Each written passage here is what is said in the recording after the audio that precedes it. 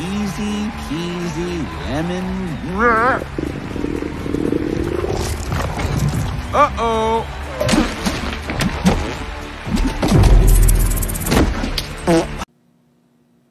Fetish movie. Okay, guys, story time. So I was just chillaxing in my room like a baller, going over Netflix to see what may have survived its animation purge. Great move, by the way, Netflix. And lo and behold, I actually found something. I know, crazy, isn't it? But then I thought to myself, wait a darn second. Netflix expects all of its animated movies and TV shows to be garbage now. If it's not Boss Baby good, then it's not Netflix good. Which probably explains why they accepted this piece of shit. Ladies and gentlemen, bitches, bros, and non binary hoes, may I present to you Marmaduke. Yeah! This exists. Did, did, did you not. Did you not want this? Are you sure you didn't want this? Who the fuck doesn't want a Marmaduke movie? Marmaduke, based off of the comic strip of the same name that ran for 70 years? Guys, we gotta lay off the Simpsons, okay? We know who the real enemy is now. So Marmaduke follows the story of a dog named, well, Marmaduke, who is described as being a messy but lovable Great Dane. And that's about it. That's the comic strip. It's a dog who gets into trouble, and that's it. And people think The Prince of Egypt is a great story. Still, you gotta admit, it's apparently doing something right since it's been able to survive for this long. I mean, it even had a movie adaptation back in 2010 starring Owen Wilson. It bombed. I didn't remember that movie. You didn't remember that movie. Don't fucking tell me in the comments you remembered. You did not. You liar. You fucking lying piece of shit. I will find you. So, obviously, with the demand for Marmaduke being so high, Netflix just had to cash in on this golden goose before it was too late, didn't they? So tell me, all 12 of you Marmaduke fans, is this what you wanted?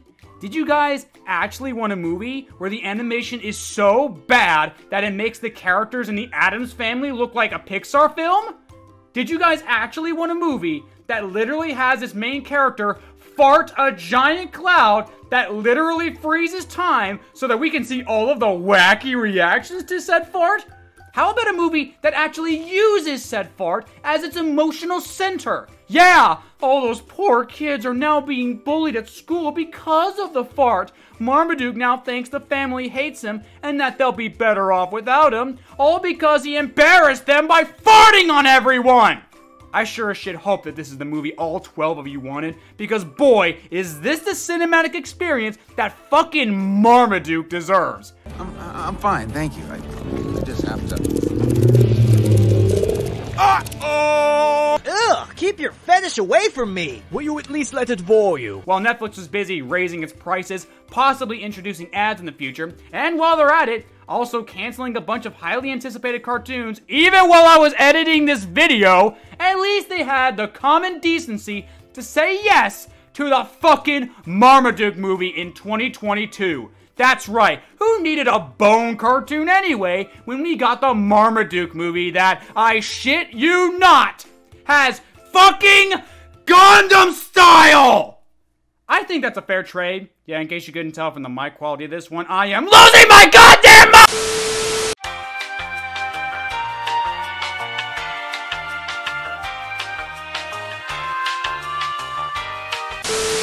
I have never felt so emotional about Marmaduke before in my whole miserable life. Like, seriously, what the fuck? I think I'm more mad about the fact that we got this at the cost of so much potentially good stuff. Now, I know that's not really the movie's fault. In fact, it was supposed to originally come out back in 2019, but it got delayed for two and a half years.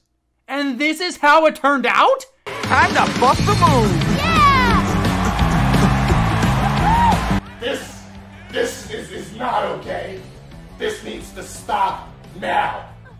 This is cancer. Yeah, they clearly needed all that extra time. Why does Marmaduke look like this? Why does he move like this? He looks more rubbery than Spinel! Literally everything about the animation is off. From the movements, to the physics, to the models themselves. I mean, just look at them! You don't need me to tell you any of this shit. Look at the kids! Look at that guy! What is this woman doing?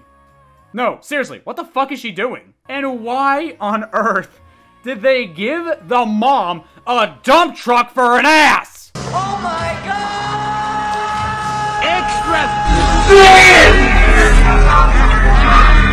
Gogo, Talia, I owe you both apologies. You girls are no longer the thickest ladies in animation anymore.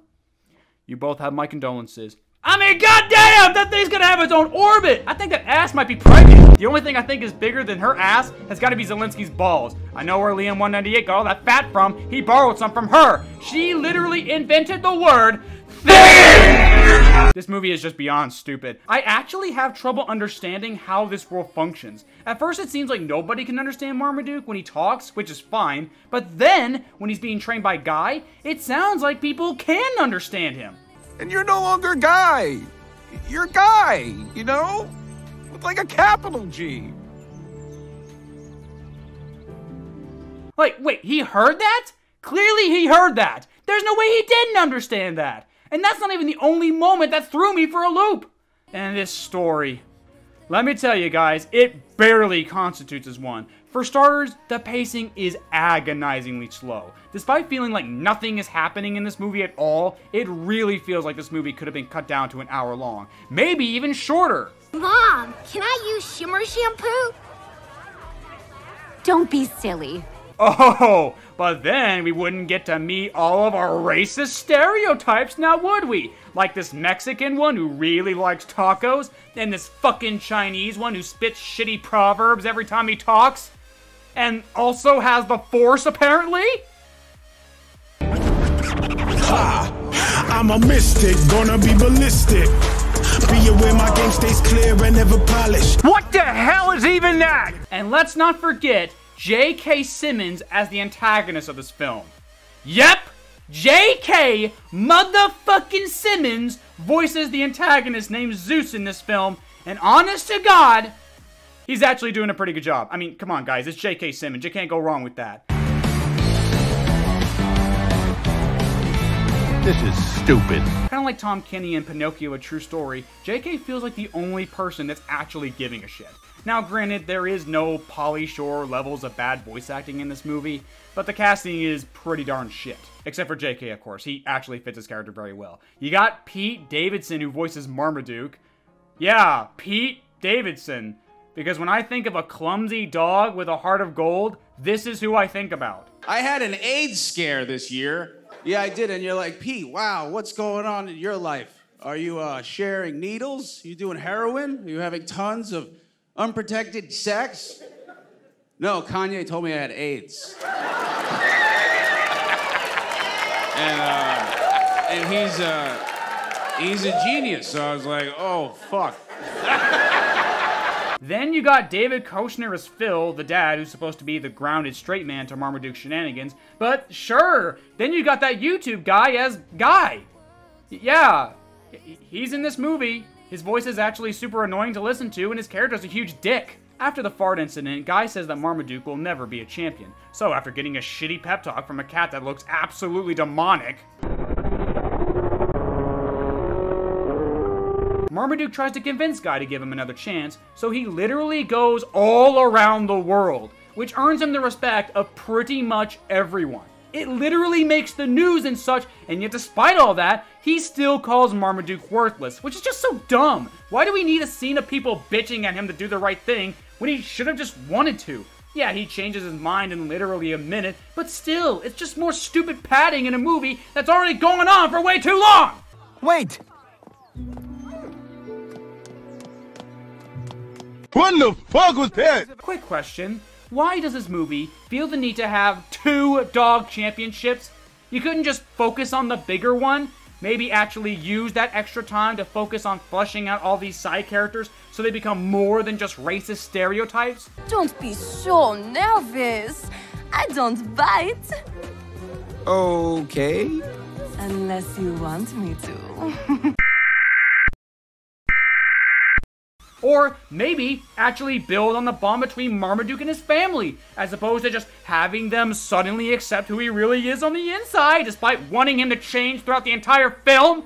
I guess the lesson is that people shouldn't try to change who you are, despite the fact that you're a colossal fuck up who literally ruins everyone's lives every chance he gets. Not to mention he's barely even with the family to begin with, save for the son, the daughter, the father, the thick mother. No! Not even close! This is stupid. This movie has just absolutely rotted my brain inside out. But hey, what did you expect from the four directors who clearly didn't give a shit about this movie? They had two and a half extra years to make this, and this is what they came up with. If you don't get out of my way, I'm gonna have to unleash thunder, lightning, tornado, and pudding. Pudding's uh, not much of a fighter. Okay, well, everything about that is wrong. Fucking giant fart clouds that freeze time! This is the best they could do!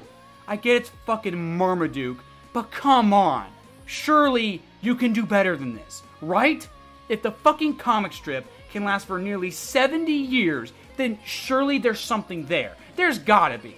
But this, this is just mindless. It's ugly, stupid, annoying, and the fact that we got this over Bone is just plain insulting. But hey, I guess it meets the criteria for what Netflix is looking for in terms of animation. No charm, no passion, no talent, just Marmaduke. This is what we should expect from now on from Netflix. No more Mitchells versus the Machines, no more Next Gens, no more Kid Cosmics, just more Marmaduke. God help us all.